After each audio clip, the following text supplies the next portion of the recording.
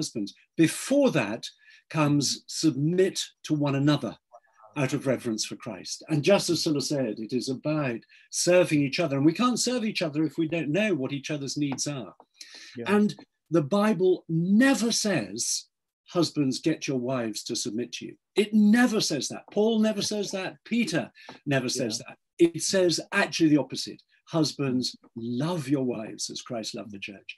And if, as I said, if we only had that, only had these verses in the Bible, submit to each other, husbands love your wives, our societies would be transformed. Children would grow up in yeah. safe homes, safe places. Hmm. Wow, thank you. Let's build on that. Um, in this particular season of the lockdown, we have seen people lose jobs, people lose businesses, and it creates an immense pressure on the family. And sometimes, especially when there's no income, when there's no money, there's no provision in the home, it just creates a lot of challenges. Nicky, how should you deal with these kind of things? A man has lost a business, has lost an income, he's back home, and the family, there's pressure, and now without any other provision. Uh, maybe in the UK, you know, you've had a way people are getting a bit of the money, the government is helping. But on many parts of the world, like Africa, it means you're done. And if you work like a church leader, it's uh, you're only one salary away from yeah. poverty. Yeah. Now you because this is also very true to Christian leaders. What yeah. is your perspective and what is your advice? My goodness, Kingston, these are huge, huge challenges which people are facing. And as, as we know, as you've said, many people are facing this uh, today.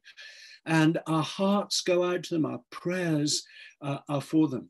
I think as a couple, the single most important thing that you can do is to work together on the situation.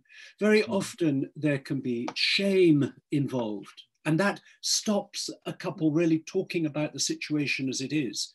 And a couple, they have to seek to work together. Mm-hmm. Because, first of all, they have the promise that God will provide. They don't, we don't know how God will provide, but He does promise that He will provide. And so when a couple pray together and work together and then make a plan, again, like we were talking about earlier for the day, make a plan. What have we got? How are we going to use what we've got?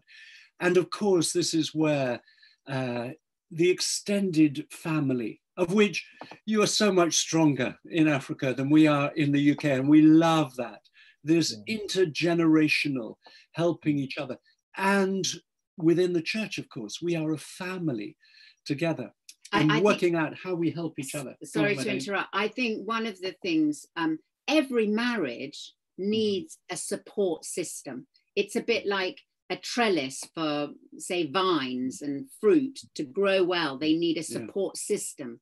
And mm-hmm. and for for marriages when you get under the kind of pressure you've described and that this lockdown has brought it's very easy to just isolate yourself because of all the challenges and the fear and the shame and the everything and and our encouragement would be to reach out for support and help and and mm. the connecting and staying connected with other people and different people you know older people peers the church community and so on is so important both the staying together mm. as a couple but also reaching out and not being afraid to reach out and to say we need some help and mm. can we just say on the other side, there are now many Christians we know in the UK who are reaching out mm. to give help to help couples to make a budget with whatever they have, the small resources to make a plan going forward.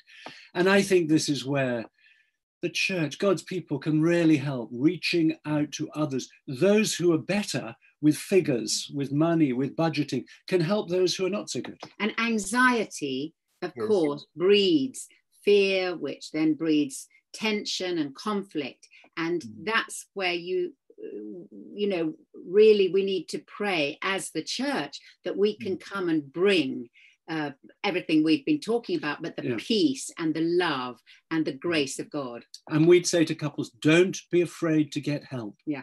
Get yeah. help. talk to people about the situation. It can put a different perspective on it. Good. Thank you. Getting help is a very important thing. Mm. You said you've been married for 44 years. So, you know, you can't fake it for 44 years. so, Nicky, what, what has kept you going? I'm sure not everything has always been nice and dandy. There have been situations where you've had trouble. Could you share with us an experience, a real experience you went through, and how did you resolve that? Uh, we, um, uh, and I are very different, as with every couple. Uh, just to give you one little example, uh, Sila is an extrovert and an external processor. So she just, if she uh, has an idea, she just wants to talk it out and she's she's thinking it out as she goes along. And sometimes what she says at the end is completely different to what she said at the beginning because she's working it out. I'm completely the opposite of that. I, I tend to try to work things out in my head often just on my own and then tell Sila what I think. She says, that's not a discussion, that's just your conclusion. and sometimes these differences, me burying things, Sila being very open, have uh, caused real conflict. And we've, one of the things that we've realized, I, I could give you many examples of that over the years, but one of the things that we have learned is that sometimes if there's an issue that has come between us, rather than attacking each other, we have to take this issue, put it in front of us, focus on the issue, talk about the issue rather than attacking each other. And then, if I could say one other absolute key for our marriage, as I believe it is for every marriage, and that is forgiveness. Love mm. keeps no record of wrongs. Sometimes that's the hardest thing to do, that mm. choice we have to make to let something go, to forgive. And then sometimes to go on choosing to forgive again and again. It's gradually the memories have less power. And and I've learned to say sorry. I think yeah. we we both have learned yeah, to say sorry much mm. quicker and to say, mm. I'm sorry, I didn't mean to say that. I didn't mean to do it like yeah. this, or I didn't mean to uh, not phone you to tell you I was going to be late, or whatever it is, to own it and say mm. sorry, mm. And then the forgiveness. Mm. And that can clear things so quickly. And we've really learned that. Thank you. That's so powerful. Now, as we just try and bring all this together, there's such a rise of intolerance. Marriages are ending quickly, family mm. is threatened, people are breaking away. So there's so much. Nicky, is there hope for marriages? Uh, what can couples do to ensure that we keep marriages on track? There is so much hope always. And one of the one of the things that we find most powerful on the marriage courses where we we see a couple sometimes to start with they're almost sort of sitting face to back to back they're not talking and gradually as the course goes on they start to open up to each other they start to discover what it is that each other really thinks and feels and often in marriage i, I think we think we know what mm. a husband or wife thinks. And if I could say this, after 44 years of marriage, the danger is greater. I think I know what Sila is going to say, but actually, I don't. I don't know what she is thinking and feeling. I've got to ask her, I've got to discover. And we have seen marriages completely turned around. We've seen separated couples who've come on the course seeking to get back together. And they've just they've started talking they've started communicating they've started asking each other questions and, and, listening to the answer. And and really what I, I want to just sort of say the same thing that Nicky's saying but put it in mm. different words. What we're talking about is deep emotional connection yeah connection at a deep emotional level not just on a superficial level that we're keeping everything kind of going on the surface but at actually inside in our hearts mm, and, and yeah. our deepest um, longings fears hopes mm. dreams and so on and that emotional connection brings this openness the ability to be open with each other and to mm. trust each other and to look forward to that growing and developing and and I would say mm. we passionately believe marriage is good. The commitment of marriage, the vows we make, is a safe, safe place for that emotional intimacy, that emotional mm. connection to grow, for the trust to grow, mm. and for the future to be an exciting prospect together. Wow, thank you so much. Now, Nicky, uh, time doesn't allow us to do so much, but I want you to take a minute and just tell us about the marriage course and how the marriage course works, because there's so many people here who are hearing the marriage course and they wonder, what is this animal all about? well, actually, Kingston, I ought to say straight up that there are two courses. One is the pre-marriage course. That is for couples who are either engaged or wanting to explore getting married. And the other is the marriage course. And these courses, we, we set them up so that it's like a date night for couples. Like they, uh, when we were able to do physical courses, we'd set it up with uh, tables, for tables for two, flowers, candles, things like that. Now, couples are doing it online in their own home. We still encourage them to make it into a nice environment, like a sort of romantic evening together.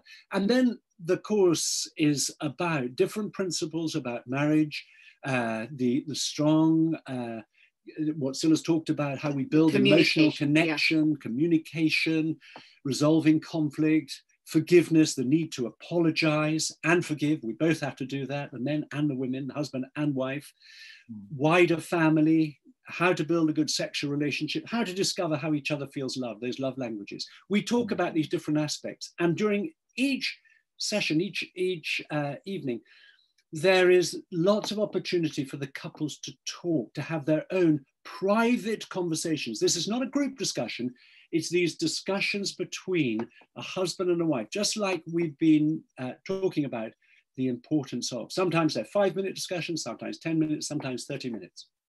Wow, thank you so, so much. I think we need to have a full day for the marriage course discussion.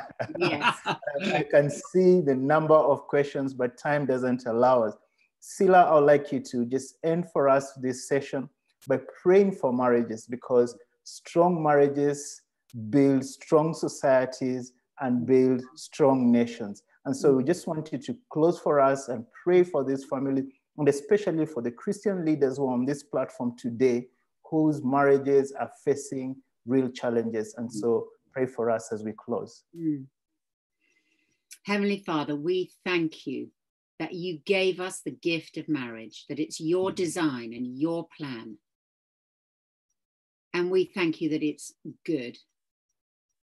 And Lord, I want to thank you for every marriage represented on this call, this conference today.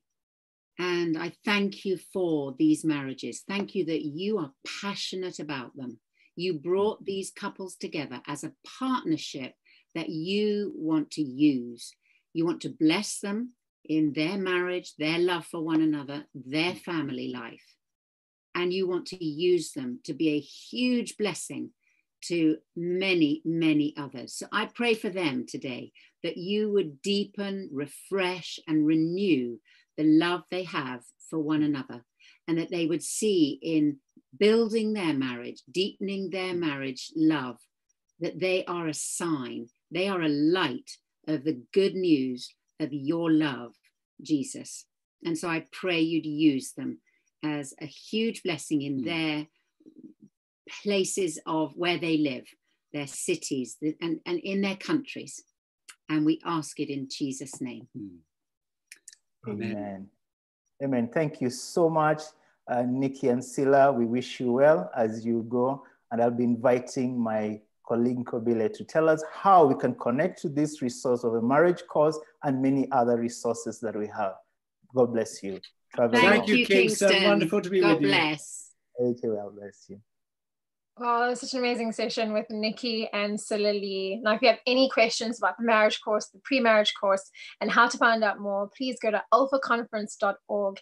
There you'll find the links to get to the marriage builder and to the marriage course website uh, that allows you to get started with running the marriage course and even running it online.